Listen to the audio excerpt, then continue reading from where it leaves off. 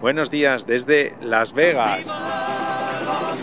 Nos hemos venido al NAP, a una de las expos más importantes de todo el año. Este año es muy especial porque cumple 100 años.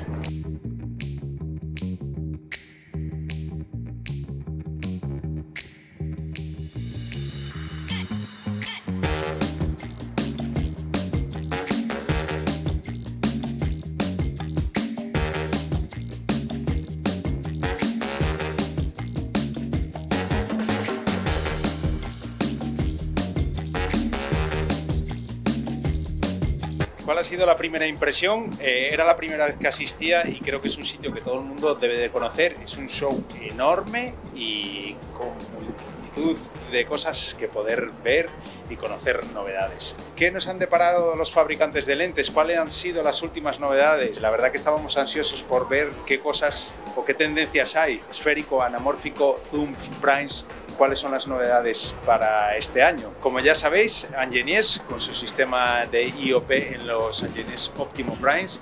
Ayer hicimos una prueba y el técnico de lentes tarda dos minutos en configurar una lente, el cambio de iris y de filtro. Un set de lentes para probar este Atlas Hemos visto su set de Atlas anamórfico de Sirius y hemos tenido el prototipo en la mano. ¿Será verdad? ¿No será verdad? ¿Las hará? También ha traído Atlas nuevas incorporaciones de focales al set de lentes Mercury, como el 54 mm que está aquí, el prototipo también.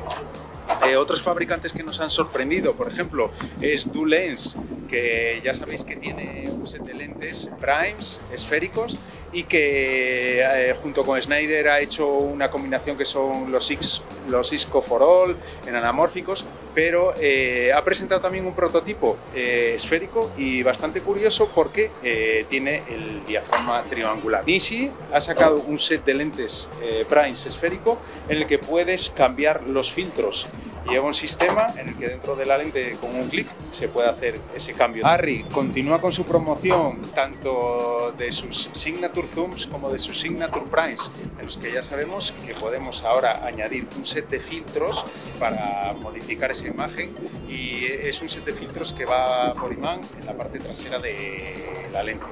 Spirit Lab eh, ha presentado un zoom, otro zoom nuevo anamórfico.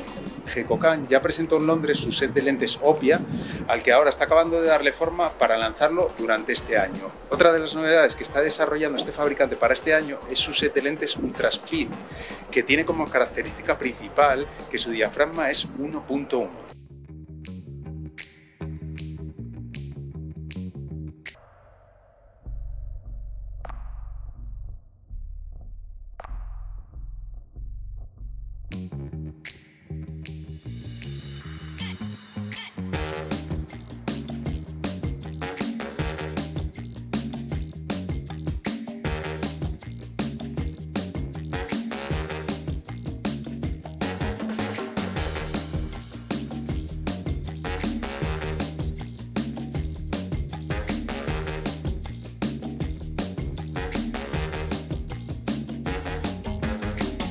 Finaliza el NAP. Bueno, varios días intensos, eh, rebuscando novedades sobre lentes, hablando con las marcas, poniéndonos al día también con algunos datos que teníamos para seguir actualizando nuestra base de datos, poniendo caras a mucha gente.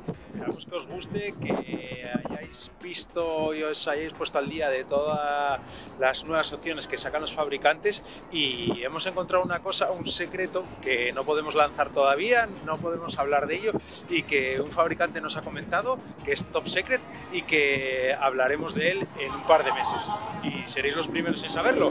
Esperemos que os haya gustado el NAP. ¡Nos vemos!